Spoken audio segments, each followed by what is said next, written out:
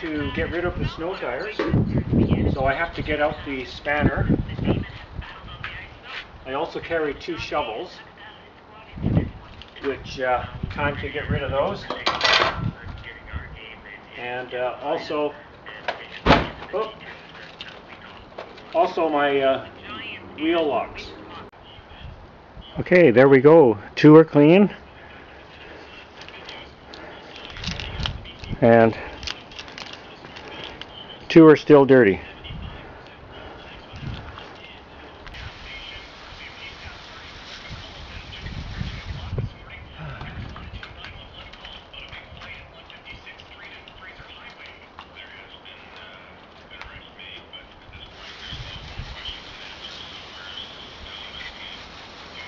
Last wheel.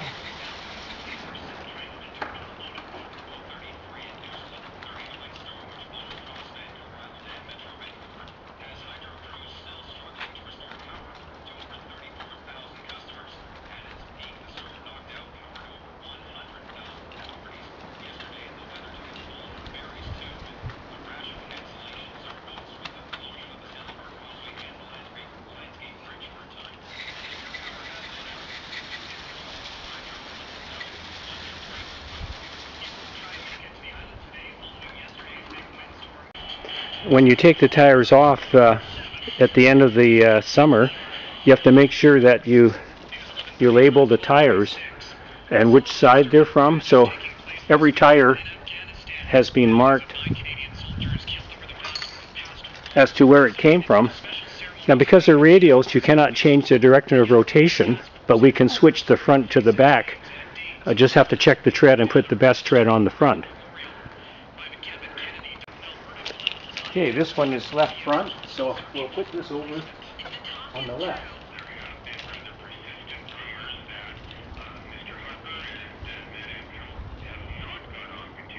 Okay, what I do before I uh, jack the car up, I I loosen all the nuts.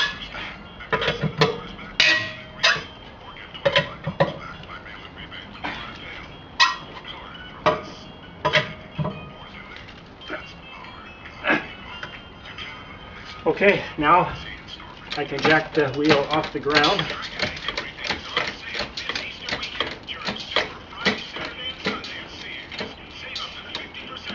Now I can uh, remove all the nuts.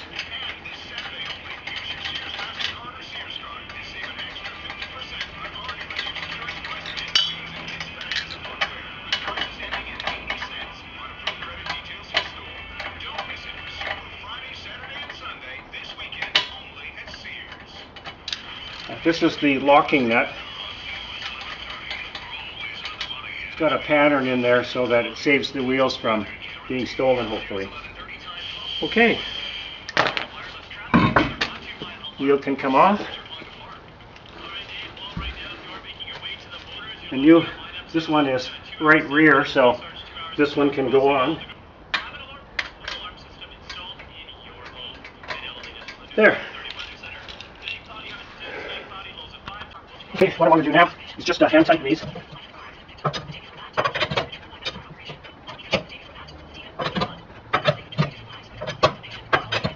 Okay, now before I put full power on these, I like to lower the tire to the ground a bit. Now with the weight of the car on the wheel, I can now apply more pressure.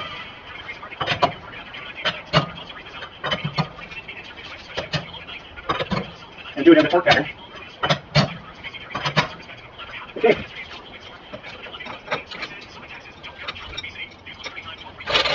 Story with everyone, but uh, basically I, I've taken the weight of the car off. Now I'll loosen these.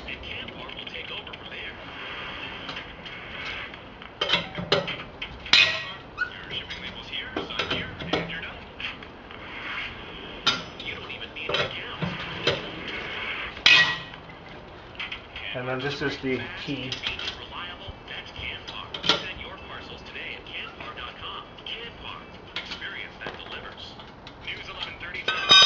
Okay.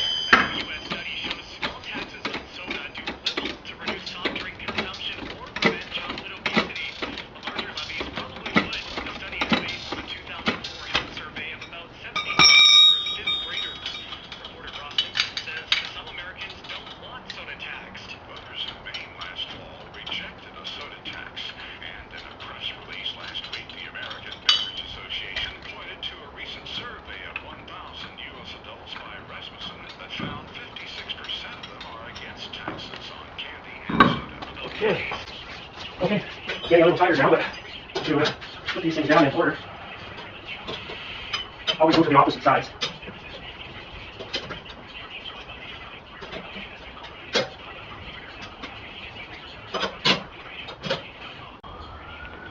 This one's the uh, left front on the driver's side. Okay, I almost forgot to uh, check the tires. So, this is my uh, portable air compressor. Just have to stick it on here.